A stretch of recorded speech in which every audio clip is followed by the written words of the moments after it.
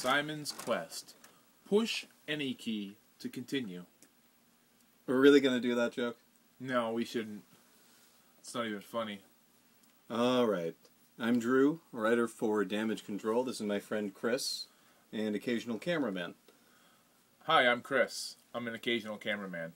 No, I'm not reading the prologue out loud. Let's just go into it.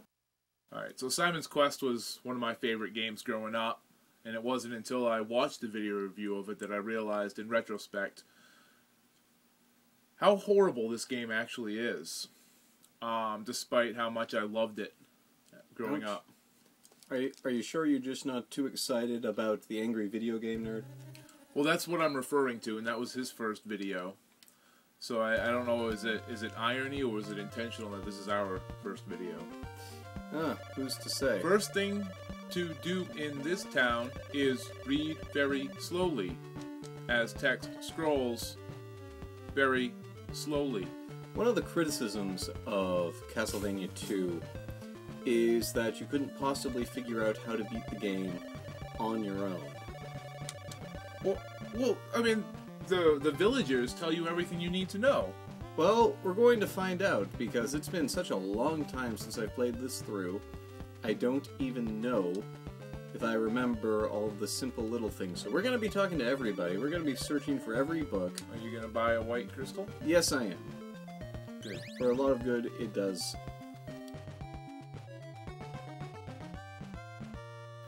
And now I'm going to go kill monsters to get 50 hearts so I can. So your current. Oh, and Wow. you're back in the town. Thank you. There, happy? Uh, that's much better. Alright. So, how many hearts have you collected so far? Zero. And how many hearts do you need? 50 to get to the holy water. And that was worth. That was worth two. Now, just a couple of things to point out about the game's system. Uh, you do gain experience and level up. It'll give you more hit points, and that's about it. The game also keeps track of time, well, game time. Yeah, you can get the best ending if you beat it. I think within a week game time. Yep. After that, you'll get the boring ending, and if you take way too long, you'll get the bad ending. Now, Oh. if if if you fail and Ganon wins, that leads you to What, What a horrible night to have a curse. well, that just takes you right out of the game, doesn't it? Uh, not really. I'll build up hearts much faster this way. What? Now these But that half looks a like half a heart.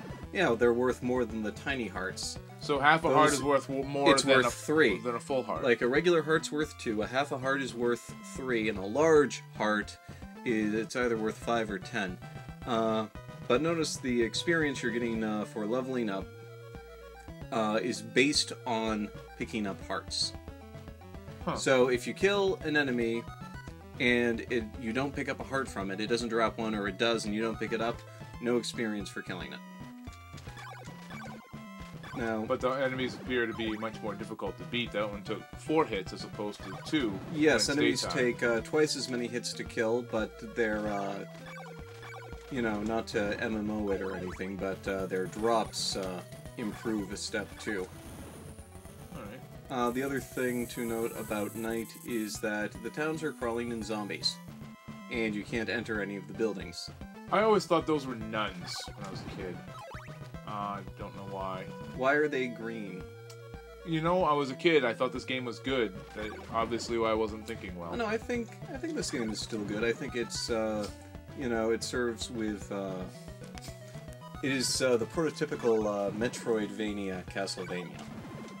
I mean, the entire world is interconnected, and while there's not a great deal of exploring going on, you have to dig around, find items, you gain experience, you change your weapons.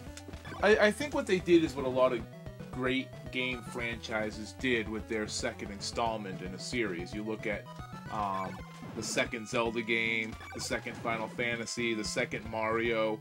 They all completely go in an alternate direction with their game to try to do something with as many different elements as possible. Um, they take what works and try to build on that and they, they scrap what doesn't work. That's why third installments tend to be so much better. You look at Super Mario Brothers 3 and how much better by using the elements of 1 and 2. Um, you look at the Castlevania 3, and even though it goes back almost completely to the style of the first game, it still plays a lot better with some of the things that it got from the, the second game. Yeah, I do like the uh, branching paths you get to take in Castlevania 3. It, it really added a lot to the replay value back when, you know, back in the day when we played a game more than once. Right, absolutely. Um, that's that's the one thing I think that this game, when you were going back to Metroidvania styles, I've got the 50 hearts. Now I just have to wait for 6 in the morning for daylight to come up. uh, do yourself a favor and don't fall into the town water supply. Yeah, yeah, we'll take a look at that a little later. Okay. But, well, I suppose the first thing I need to do is go to the church and refill my life. Well, you're being attacked by angry green nuns. What's Well- the church gonna do for you? Well, I don't know. Maybe I haven't. Uh, maybe I haven't uh, done my fair share of uh, contributing to the collection plate. Uh, it's kind of like Scientology. The morning sun has vanquished the horrible night. You know, you, you'd think after games like this that the slow texts would have faded away, people would have realized that it's really annoying. But in games. All right, I want to point. I want to interrupt you and point this out. Rest here for a while. Very Zelda 2. Yeah, well, speaking of Zelda, even as far as the most recent Zelda game, Skyward Sword, you still have that mandatory slow moving text that I mean games for for 10, 15, even 20 years have realized is not entertaining, is not good and people don't want that.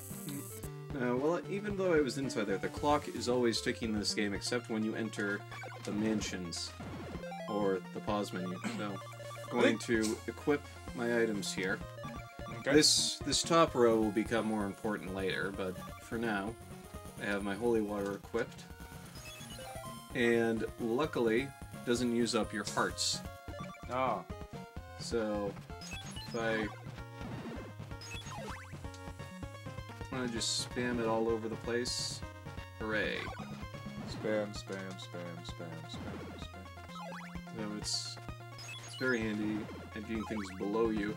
Uh, but the holy water later in the game will become pretty antiquated because once you pick up Dracula's nail, your uh, whip will be able to break blocks. Ah. Alright, and this is where I'm probably going to die. Oh, you're not gonna. You missed a heart. Yep, no experience there. And that's where you die. Missed him. Alright, so. Oh dear god.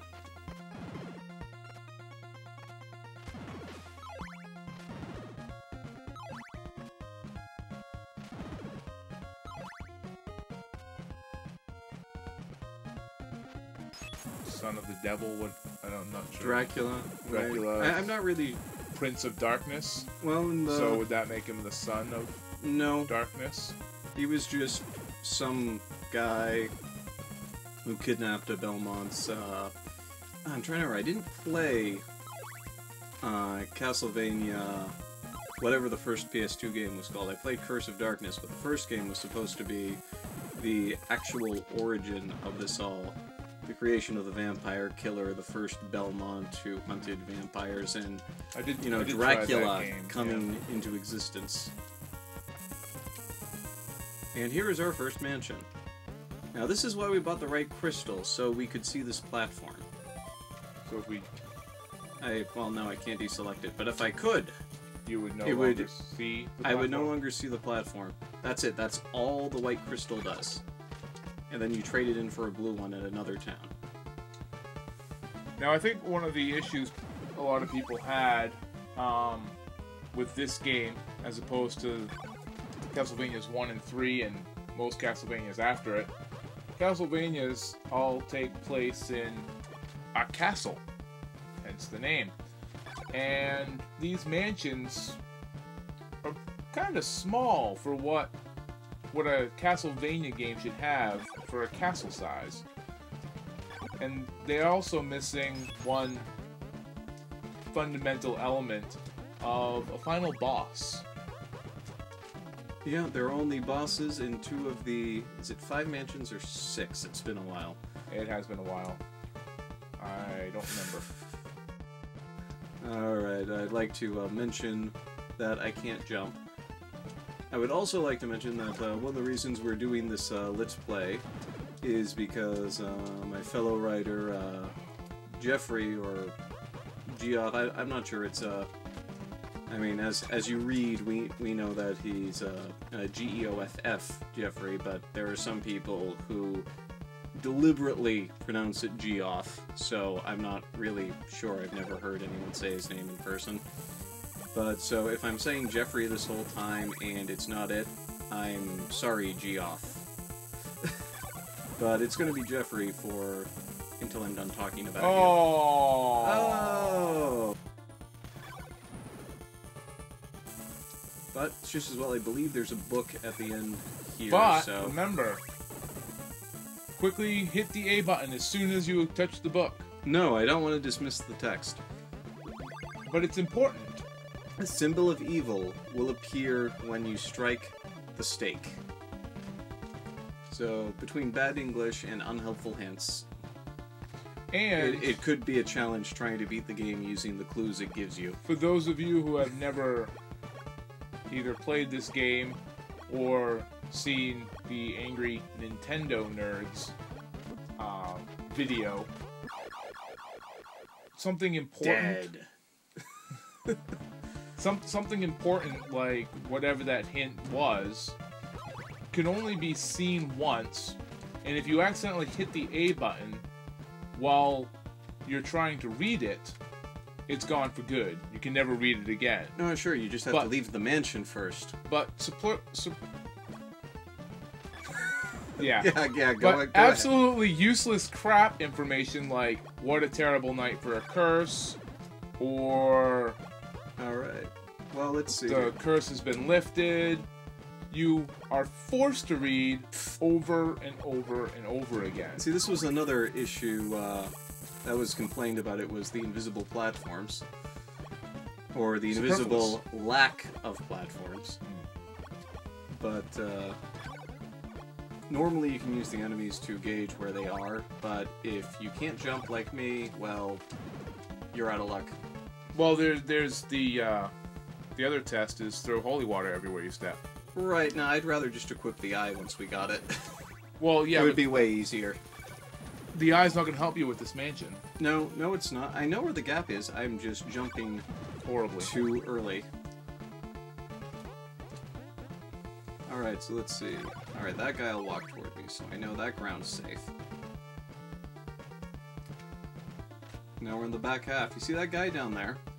Yes. I have to make sure I've got uh, 50 hearts again. Oh, I Oh, you just leveled leveled up. up. Alright, so I have 102, so I can buy a stake. Notice the experience rolls over after you level.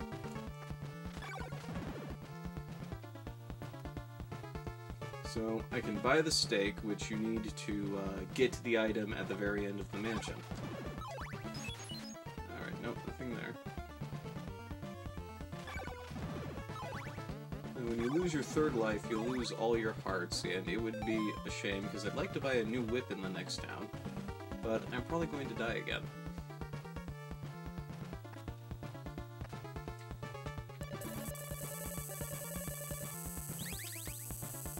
Now, what do you do with that stake? Are you supposed to strike the stake?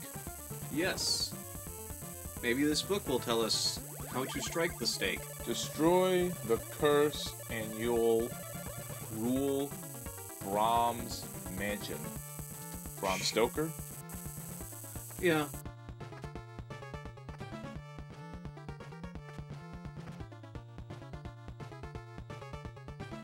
But, you know, not that enemies disappear or anything. I mean, you know, the best way to load up on hearts to pick up equipment is to just keep going through the mansions because time won't pass.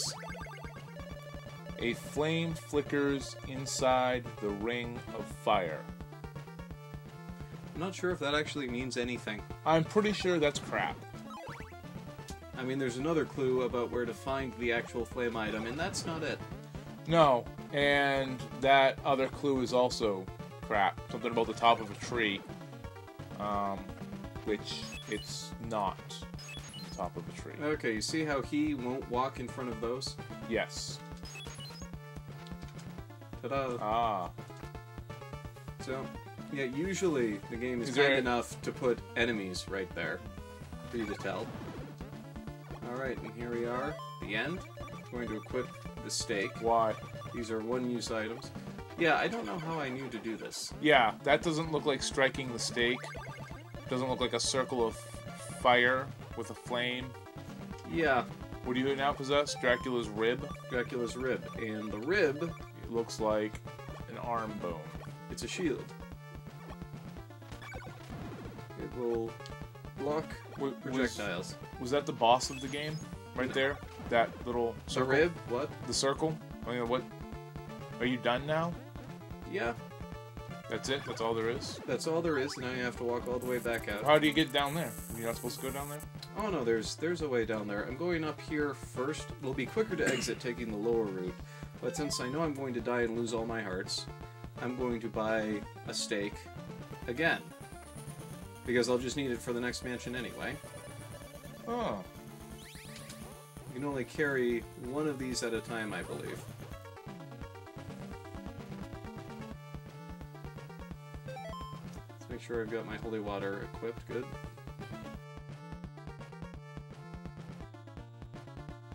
Castlevania series just uh, last year celebrated its 25th anniversary Yeah. to not much of note from uh, Konami.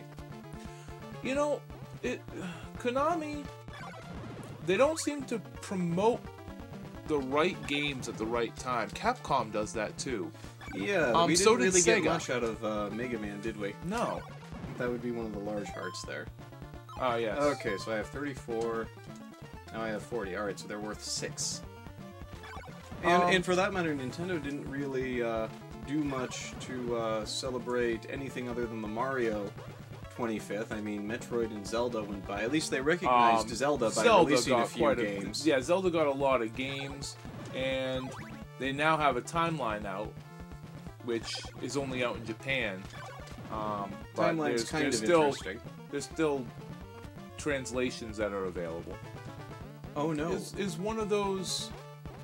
Oh, you no longer have your uh, yeah, I don't have the crystal, the, so I the can't white see the it. white crystal. Oh no. Oh, It's still there. All right.